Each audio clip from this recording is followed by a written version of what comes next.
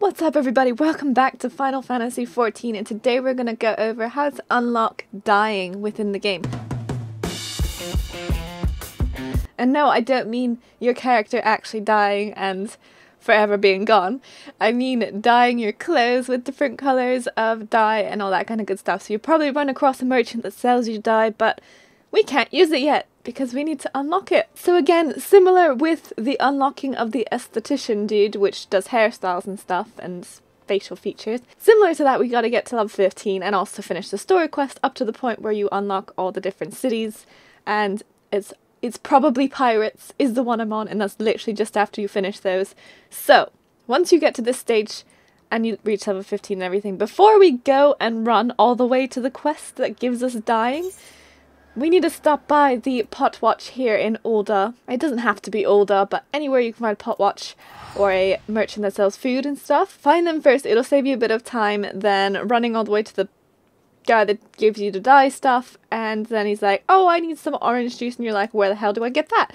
So this is where we want to go to the Potwatch person and buy a pot of orange juice for a 7 gil. It's not going to break the bank, to be honest. So once we've got that, the next step will be...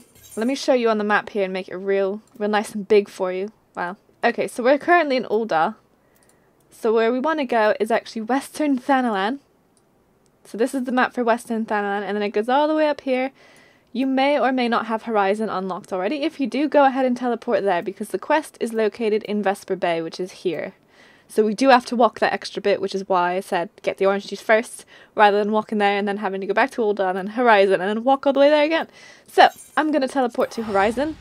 I've also got another quest on the way there that unlocks guild levies and battlecraft levies. Alright, so now we're in Horizon on the way to the dude that gives us the colouring quest. It's called Colour Your Worlds. So if you do see this quest, pick it up because that is the dyeing quest.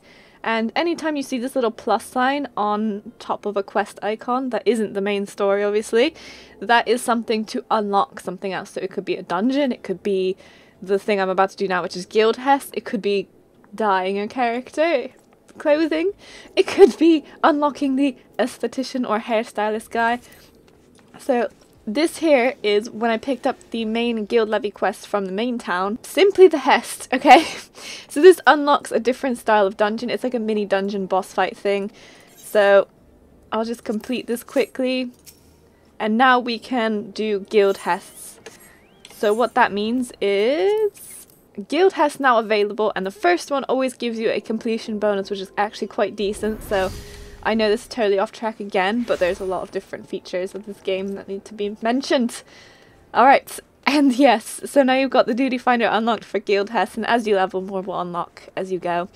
And it's just another way to earn experience if you want to do a quick grouping thing with people, but it only lasts about maybe like two to five minutes, depending on which one it is.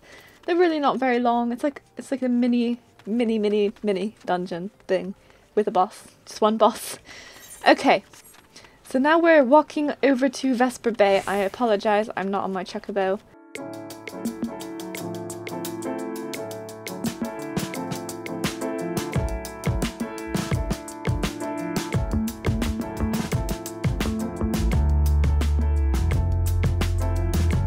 Oh yes, check that out. Oh, we've got a cool chocobo coming up.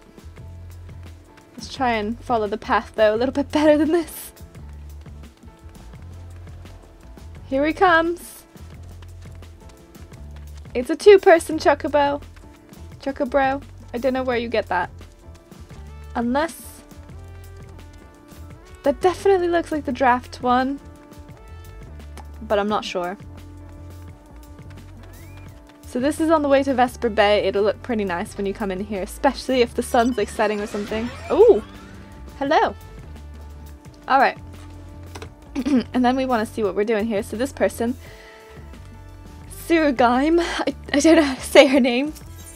So color your world. She wants to show you a whole new world of colors. Okay, and she gives us some dyes as well to start with. They're not brilliant, let me just tell you that. You, you here, yes you, the decisive, unfashionable adventure. okay, so then she tells you a quick story. And then it says deliver a bottle of orange juice to this person and we've already got that so I can just go ahead and turn it in right away. Unfortunately there is not a vendor that sells it in Vesper Bay, so we do have to go to like Ul'dah or a different city to get it. So just save yourself some time. Alright, and now we've completed this quest.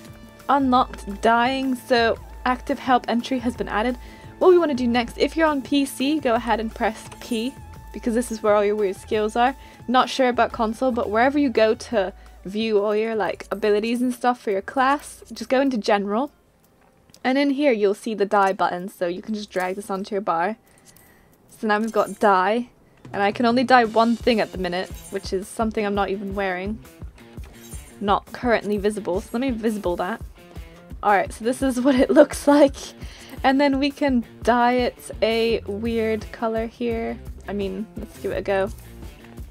And then we're just like straining a bit for the dyeing. Alright, and now it's yellow. So this, this is how you unlock it. Then all the vendors, of course, they sell lots of different dyes. You can unlock certain dyes from different places. Like I'm pretty sure you can do like reputation, um, merchants. If you have a certain reputation, you can buy a dye from them. You can also buy it from the Moogle, the Mog Station thing as well. Some of these more fancy dyes here, like dark black and, and the metallic colours, which I don't have unlocked. But anyway, that's just the very first step to unlock dyeing in Final Fantasy XIV. And it's just called Color Your World in Vesper Bay. Get yourself a bottle of orange juice while you're going there and you'll be started. So thank you so much for watching this video. I know it wasn't very long, but it was quite a quick topic to go over with you guys. So if you do have any other suggestions, let me know in the comments below. Of course, like this video if you found it helpful, subscribe for more, and we'll see you again next time very soon. Goodbye.